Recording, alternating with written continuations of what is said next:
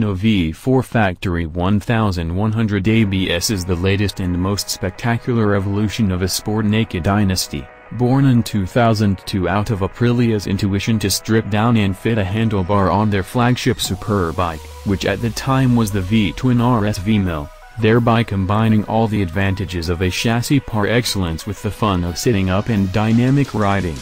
The patriarch of the new super-naked category was called the Tuono 1000R, the first ultra-high-performance naked.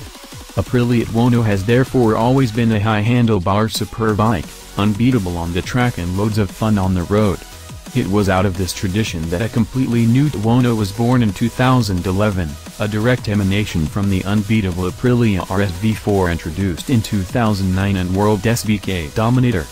It was an epic change. Tuono V4R immediately made a place for itself as the highest performance, most technological and sophisticated naked sport bike ever manufactured, the most adrenaline-pumping, fierce and effective naked ever seen, an excellence for the most purest of thrill-seeking enthusiasts thanks to the V4 engine capable of 167 horsepower and the exceptional APRC electronic controls package, still unrivaled in terms of effectiveness and technology. But the evolution did not stop here.